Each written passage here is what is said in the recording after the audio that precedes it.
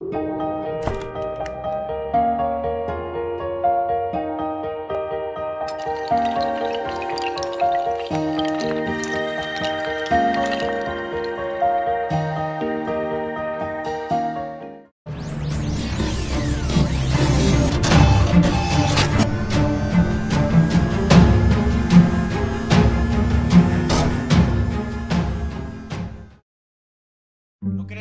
ha llegado el momento de realizar una profunda investigación por parte de la Junta de Castilla y León? ¿Ustedes no creen que hay sospechas suficientes para paralizar este proyecto y para atender a los argumentos que dimos en su momento hace varios meses cuando conseguimos concitar el apoyo de todos los grupos de la oposición, incluidos partidos que tienen apoyo a la energía nuclear, lo cual prueba que los argumentos no son simplemente procedentes de aquellos que nos oponemos a la energía nuclear de manera política, como es mi caso, sino que hay elementos que van bastante más allá.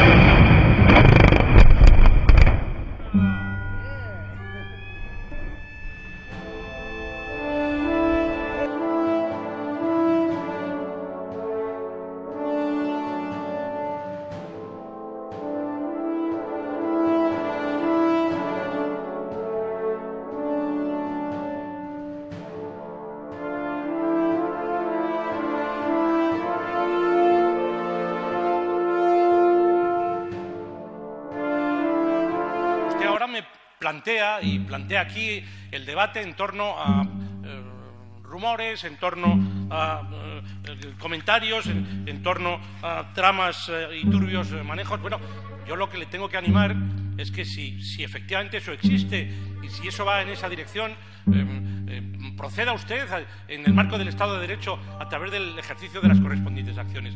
Pero lo que le corresponde a la Junta, lo que le corresponde a una Administración, es la aplicación estricta de la ley. Re- respetar los informes que realizan los técnicos de esta Administración o de otra Administración y en función de sus propios informes otorgar o no las correspondientes autorizaciones. Estamos además, señor Sarrión, y usted lo conoce perfectamente, ante un proyecto que por sus características tiene una tramitación muy compleja, pero que es extraordinariamente garantista.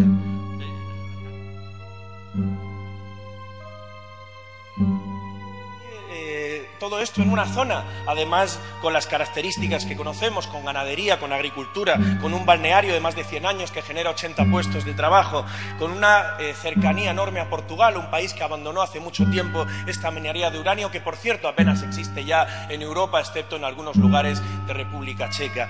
Y en definitiva, un proyecto en el que creemos que debería haber mayor sospecha por parte de ustedes. Y quisiera terminar mi intervención recordando y manifestando mi máximo apoyo a público a las dos personas que han sido querelladas por parte de la multinacional Berkeley, al edil de Villares de Yeltes, José Ramón Barrueco, y al activista Jesús Cruz, que han sido acusados por difamación y por calumnias por parte de esta empresa. Un juicio que sin duda perderán, porque de ninguna manera se puede decir que hayan faltado temerariamente a la verdad, pero que desde luego lo que persigue es amargarles la existencia durante unos años. Desde luego, por mi parte, haré lo posible para que no sea así. Muchas gracias.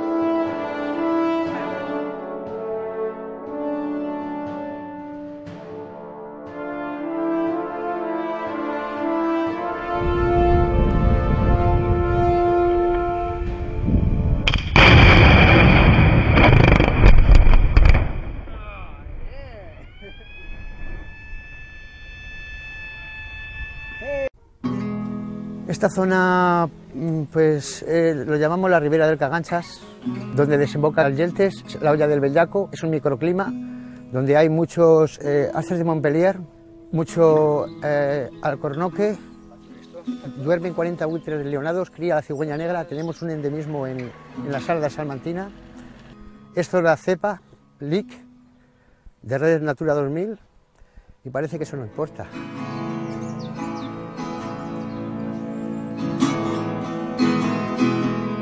Arrancaré unas de 25 a 30 mil árboles, que en su mayoría son más de 500 años, son encinas muy viejas, que es lo que da la biodiversidad, alcornoques, fresnos, alisos, mucha naturaleza salvaje. Aquí tenemos el balneario de Retortillo con unos 70 puestos de trabajos fijos, más los indirectos. Están trabajando casi todas sus mujeres con hijos, porque aquí en esta zona no hay otra cosa. que eso cerrarán, no hay otra, no hay otra salida.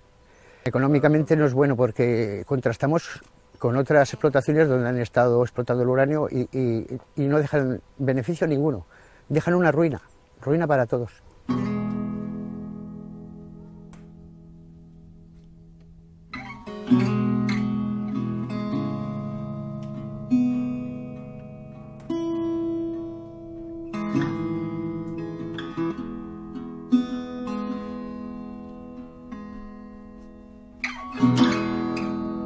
190 puestos de trabajo que dice que van a dar son para gente cualificada, gente de fuera. Aquí no van a dejar dinero, aquí se lo van a llevar y no van a dejar esto destrozado.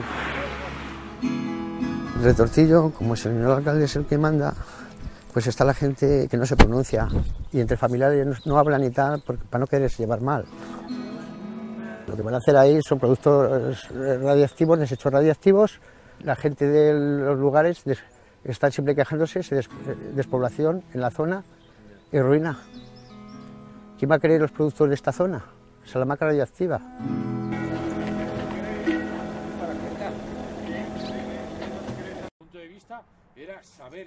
Sus propios concejales han vetado sus propuestas. Han perdido la confianza en mí, pues para estar y no tener ningún tipo de apoyo, he preferido dejarlo han votado en contra de la consulta popular que llevaban en el programa electoral para que el pueblo decidiese si quería esta mina de uranio. Si el pueblo decía sí a la mina, lógicamente yo, como alcalde que salí elegido el 13 de junio, diría sí a la mina. Si el pueblo decía no a la mina, defendería con niñas y carnes el que la mina no fuera adelante. Él cree que será un peligro para el medio ambiente y que perjudicará al balneario. ¿Qué dirán mis hijos, mis sobrinos o los sobrinos y los hijos de otros cuando vengan y le hayamos dejado ese cementerio nuclear para el futuro de su juventud? Yo imagino que son los hilos de Berkeley que se van moviendo y que va intentando conseguir sus objetivos. Sus concejales socialistas también votaron en contra de emplear el dinero de los toros en crear empleo. Prefería invertirlos en dos personas que pudieran trabajar dos meses en el pueblo que no en dar una tarde de fiestas. Si el pueblo pide toros, pues pide toros, hay que dárselos. Dimite dolido, pero satisfecho, dice, por haber bajado el IBI un 10%, abierto los plenos a todos los vecinos y limpiado los márgenes del río.